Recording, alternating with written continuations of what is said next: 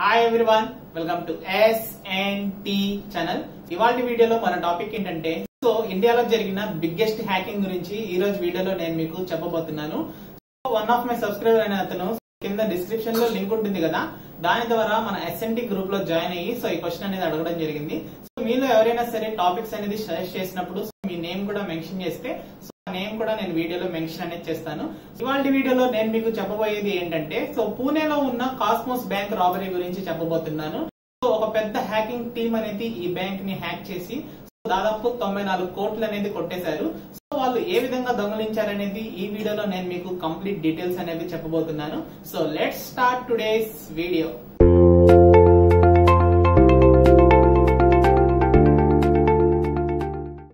cooperative bank అనేది పూణేలో ఉందన్నమాట. ఈ పూణేలో ఉన్న ఈ బ్యాంక్ని సడన్గా ఒక రోజు హ్యాకర్స్ అనే వాళ్ళు దీనిపైన హ్యాకింగ్ అనేది చేసి సో బ్యాంక్లో ఉన్న నైన్టీ ఫోర్ క్రోర్స్ అంటే తొంభై నాలుగు కోట్లు దొంగలించారు. ఈ హ్యాకింగ్ గ్రూప్ అనే వాళ్ళు ఈ డబ్బుని ఎలా దొంగలించారంటే ఫస్ట్ ఆఫ్ ఆల్ వాళ్ళు ఏటీఎంస్ ఉంటాయి కదా సో ఈ ఏటీఎం సర్వర్స్లోకి ఎంటర్ అయ్యారు. సో హ్యాకింగ్ చేసి సో ఎంటర్ అయిన తర్వాత ఏం చేశారంటే మనకి ఏటీఎం కార్డ్స్ ఉంటాయి కదా అంటే ఎస్పెషల్లీ వీళ్ళు హ్యాక్ చేసింది డెబిట్ కార్డ్స్ డేటాని ఈ డెబిట్ కార్డ్స్ డేటా ఏంటి అంటే మనం జనరల్గా రూపే కార్డ్స్ కానివ్వండి వీసా వాడతాం కదా. సో ఈ రెండు కార్డ్స్ ఏవైతే ఉన్నాయో రూపే అండ్ వీసాని ఈ కంప్లీట్ యూజర్స్ డేటా అనేది వాళ్ళు కలెక్ట్ చేశారు ఎంతమంది యూజర్స్ ఉన్నారు? వాళ్ళ దగ్గర ఉన్న డెబిట్ కార్డ్ నెంబర్స్ ఏంటి? అండ్ నెక్స్ట్ వాటి ఉంటాయి కదా సివివి అని చెప్పి ఎక్స్పైరీ డేట్స్ అని ఇవన్నీ కలెక్ట్ చేసి పెట్టుకున్నారు. ఈ డేటా అంతా కలెక్ట్ చేసుకున్న తర్వాత ఏం చేశారంటే క్లోనింగ్ అనేది చేశారు. సో క్లోనింగ్ అంటే ఏం లేదు డూప్లికేట్ కార్డ్ అనేది ఇంకోటి రెడీ చేస్తారనమాట ఆ డూప్లికేట్ కార్డ్ మీద వీళ్ళ దగ్గర ఆల్రెడీ డేటా ఉంది కదా ఆ డేటాని యూజ్ చేసుకుని అదే నెంబర్స్ని ప్రింట్ చేయడం ఆ బార్ కోడ్లో అదే నెంబర్స్ని పెట్టడం ఈ విధంగా డూప్లికేట్ ఏటీఎం కార్డ్స్ అనేవి తయారు చేశారు. ఈ ఏటీఎం కార్డ్స్ అనేవి డూప్లికేట్ అనేది చేసిన తర్వాత ఆగస్ట్ లెవెన్త్ టూ థౌసండ్ ఎయిటీన్లో వాళ్ళు మనీ అనేది విత్ డ్రా చేశారు. సో ఎక్కడ చేశారంటే ఏటీఎంస్ ఉంటాయి కదా ఏటీఎం లో కార్డ్ అనేది పెట్టి సో వాళ్ళు మనీ అనేది విత్ డ్రా అనేది చేస్తారు. సో మనం ఏదైనా ఏటీఎం లో కార్డ్ కనుక ఇన్సర్ట్ చేసి డబ్బులు కనుక తీస్తే కొంచెం లిమిట్ అనేది ఉంటుంది. అంటే ట్వంటీ థౌసండ్ మాత్రమే తీయగలం లేదంటే ఫార్టీ థౌసండ్ మాత్రమే తీయగలం. కానీ వీళ్ళు నైన్టీ ఫోర్ క్రోర్స్ ఎలా తీశారంటే ఈ ఇన్సిడెంట్ అనేది జరిగిన తర్వాత మనకి ఈ హ్యాకింగ్ గ్రూప్ అనే వాళ్ళు కెనడా నుంచి హ్యాక్ చేసినట్టు కాస్మోస్ కోఆపరేటివ్ బ్యాంక్ చైర్మన్ అని చెప్పారు. అండ్ నెక్స్ట్ మనకి టూ డేస్లోనే ఈ బ్యాంక్ నుంచి మనకి డెబ్బై ఎనిమిది కోట్లు అనేది విత్ డ్రా చేశారు. ఓన్లీ ఏటీఎంస్లో వాళ్ళు కార్డ్స్ అనేది ఇన్సర్ట్ చేసి ఆ ద్వారా డెబ్బై ఎనిమిది కోట్లు విత్ డ్రా చేశారు.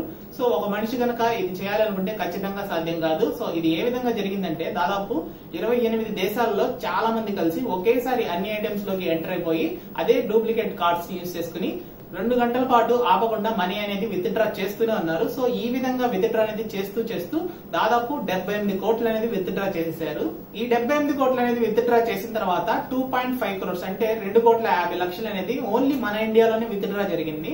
ఈ మొత్తం ప్రాసెస్ అనేది జరగడానికి కేవలం రెండు రోజులు మాత్రమే పట్టింది. అంటే August eleventh two thousand eighteen నుండి August twelfth two thousand eighteen వరకు.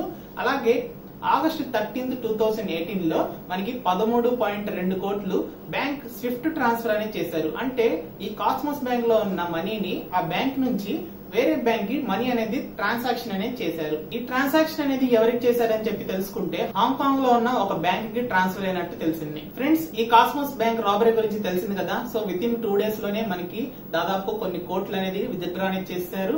అందులో ఇరవై ఎనిమిది దేశాలు అనేది ఇన్వాల్వ్ అయి ఉన్నాయి. అంటే ఇరవై ఎనిమిది దేశాల నుంచి విత్డ్రా చేశారు. అలాగే నెక్స్ట్ డే ఏం చేశారంటే దాదాపు పదమూడు కోట్ల వరకు ఒక బ్యాంక్ నుంచి ఇంకో బ్యాంక్కి ట్రాన్స్ఫర్ అనేది చేశారు. అండ్ నెక్స్ట్ మనకి టూ పాయింట్ ఫైవ్ క్రోర్స్ ఇండియాలోనే విత్డ్రా అనేది చేయడం జరిగింది. సో ఇదంతా చాలా హైటెక్ రాబరీ అన్నమాట. ఇంత పెద్ద రాబరీ అనేది వీళ్ళు ఏ విధంగా చేశారని చెప్పి సో ఇప్పుడు మనం చూద్దాము. ఈ కాస్మోస్ బ్యాంక్ చైర్మన్ ఎవరైతే ఉన్నారో సో ఆ చైర్మన్ ఆ రాబరీ అనేది కంప్లీట్ అయిన తర్వాత ఏం చేశారంటే సో అసలు ఈ హ్యాకింగ్ అంతా ఎలా జరిగింది? దాదాపు వంద కోట్ల మనీ అనేది ఏ విధంగా వాళ్ళు దొంగలించారని చెప్పి తెలుసుకుందామని ప్రొఫెషనల్ ఎవరైతే ఎక్స్పర్ట్స్ ఉంటారో సో ఫారెన్సిక్ ఎక్స్పర్ట్స్ని పిలిపించి సో బ్యాంక్లో అన్ని విధాల టెస్ట్లు అనేది చేశారు. సో చేసిన తర్వాత వాళ్ళకి సాఫ్ట్వేర్లో తెలిసింది ఏంటి అంటే ప్రెసెంట్ ఏదైతే హ్యాకింగ్ జరిగిందో ఆ హ్యాకింగ్ వల్ల బ్యాంక్ మొత్తం కొలాప్స్ అయితే అవ్వలేదు. అండ్ నెక్స్ట్ ఆ హ్యాకర్స్ బ్యాంక్ మొత్తంలో ఉన్న సర్వర్స్లోకి ఎంటర్ కూడా కాలేదు. వాళ్ళు ఏంటంటే జస్ట్ యూజర్స్ డీటెయిల్స్ని దొంగలించారు. అంటే వాళ్ళ ఏటీఎం కార్డ్ నెంబర్స్ని అండ్ నెక్స్ట్ వాళ్ళ యొక్క సివివి కానివ్వండి.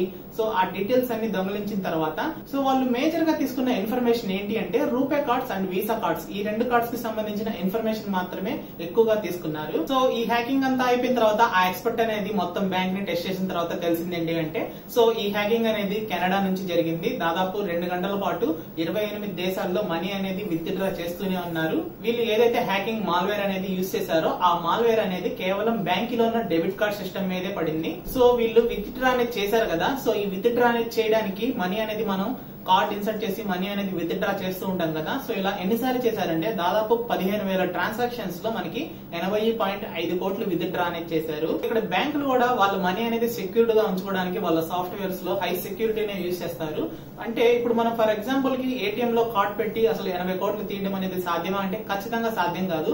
ఎందుకంటే దానికంటూ ఒక లిమిట్ ఉంటుంది. లేదంటే ఒకే పర్సన్ అనాథరైజ్డ్ అయ్యుండి ఆ బ్యాంక్ నుంచి ఎంత కావాలంటే అంత డబ్బు అనేది విత్డ్రా చేస్తున్నప్పుడు బ్యాంకింగ్ సాఫ్ట్వేర్ ఏం చేస్తుందంటే ఆటోమేటిక్గా ఆ ట్రాన్సాక్షన్స్ అన్నిటిని రిజెక్ట్ చేసేస్తుంది. అంటే అతనికి మనీ అనేది ఏటీఎం నుంచి బయటకు వెళ్ళకుండా ఆపేస్తుంది. ఎవరైతే బ్యాంక్ అడ్మిన్స్ ఉంటారో సో వాళ్ళకి రిపోర్ట్ కూడా చేస్తుంది. సస్పీషియస్ యాక్టివిటీస్ వచ్చాయి అని చెప్పి. కానీ ఇక్కడ హ్యాకర్స్ ఏం చేశారంటే బ్యాంక్ సర్వర్లోకి ఎంటర్ అయ్యి డేటా మాత్రమే తీసుకున్నారు. తీసుకుని డూప్లికేట్స్ కార్డ్స్ తయారు చేసి ఆ కార్డ్స్తో మనీ అనేది విత్డ్రా చేశారు. సో ఇప్పుడు మనం ఏటీఎం ఫంక్షనాలిటీ అనేది ఏ విధంగా ఉంది అని చెప్పి మనం తెలుసుకుందాము.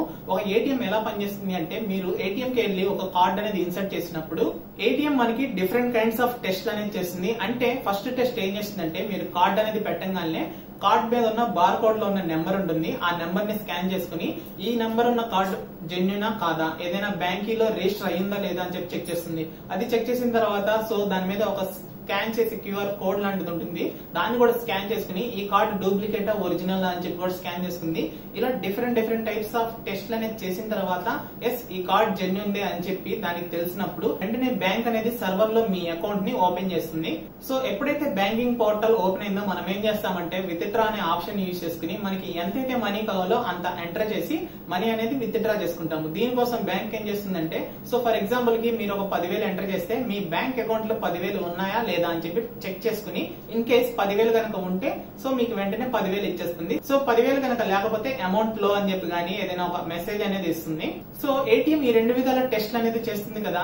ఈ రెండు విధాల టెస్ట్లో కార్డ్ నెంబర్ అనేది జెన్యున్ అవడానికి అండ్ నెక్స్ట్ బ్యాంక్లో బ్యాలెన్స్ లేకపోయినా సరే అందులో ఉన్న మనీ బయటికి రావడానికి హ్యాకర్స్ అనే వాళ్ళు ఎటువంటి మెథడ్ని యూజ్ చేశారంటే ప్రాక్సీ స్విచ్ అనే దాన్ని యూజ్ చేశారు. జనరల్గా అసలు స్విచ్ అనేది ఏంటి అంటే ఇది ఏటీఎం లో జరిగే ఆపరేషన్స్ని కంట్రోల్ చేస్తుంది. అంటే మీరు ఎంత మనీ విత్డ్రా చేసుకోగలిగే లిమిట్ ఉంటుందో అంతవరకే విత్ డ్రా చేసుకునేలా చేస్తుంది. అండ్ నెక్స్ట్ మీరు కనుక ఎక్స్ట్రా మనీ విత్ డ్రా చేయాలని చేస్తే మీ లిమిట్ అయిపోయింది అని చెప్తుంది. ఇలా ఏటీఎం లో జరిగే ప్రతి ఒక్క టాస్క్ ఏవైతే ఉంటాయో వాటన్నిటిని ఇది జాగ్రత్తగా కంట్రోల్ చేస్తుంది. దీని నుండి తప్పించుకోవడానికి హ్యాకర్స్ ఏం చేశారంటే ప్యారలల్గా దానిలాగే ఉండే ఇంకో ప్రాక్సీ స్విచ్ అనేది క్రియేట్ చేసి వాళ్ళ బ్యాంకింగ్ సర్వర్లోకి ఎంటర్ అయ్యారు.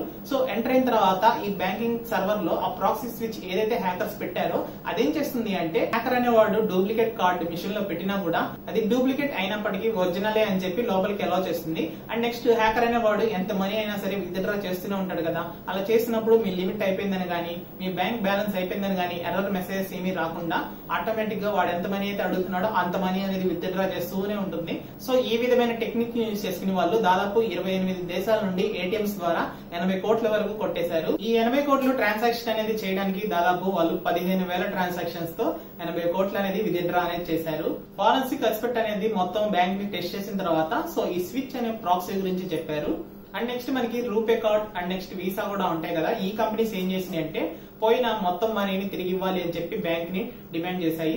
మనీ అనేది పోయాయి కాబట్టి అగ్రిమెంట్ ప్రకారం ఈ కాస్మోస్ బ్యాంక్ అనేది ఆ రెండు కంపెనీస్కి పోయిన అమౌంట్ మొత్తం రిటర్న్ అనేది చేశాయి. నెక్స్ట్ పదమూడు కోట్ల వరకు మనకి ఇక్కడ స్విఫ్ట్ ట్రాన్స్ఫర్ అనేది చేశారు. హాంకాంగ్లో ఉన్న బ్యాంక్కి ఈ కాస్మోస్ బ్యాంక్ నుండి డైరెక్ట్గా ట్రాన్స్ఫర్ అనేది చేశారు.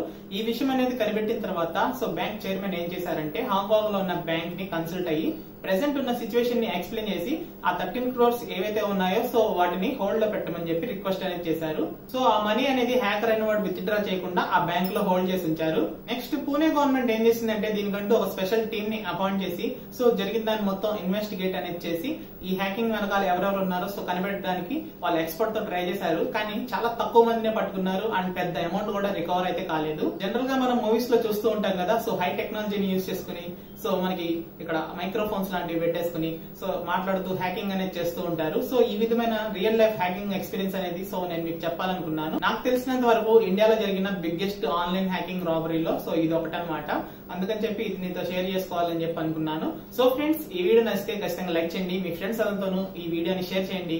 అండ్ ఎస్ఎన్టీ ఛానల్ని మీరు ఇప్పటివరకు సబ్స్క్రైబ్ చేసుకోకపోతే కింద కనిపిస్తున్న red colour subscribe button press చేసి సబ్స్క్రైబ్ చేసుకోండి.